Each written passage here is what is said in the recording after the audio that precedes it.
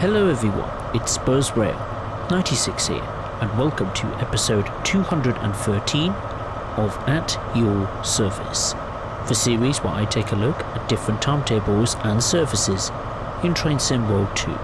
For today's video, I am on Great Western Express, and I am taking control of the 11.20am passenger service, which goes from London Paddington to Great Malvern. But in the game, I can only take this service as far as Reading. We will also be having an intermediate stop at Slough. Our attraction for the journey is the BR Class 43 high speed train diesel electric locomotive, and the configuration of today's service is a 10 coach train. Okay, so here we are aboard the cab with the setup procedures complete, so let's proceed to our first stop, which is Slough. And this is exactly 18 miles away.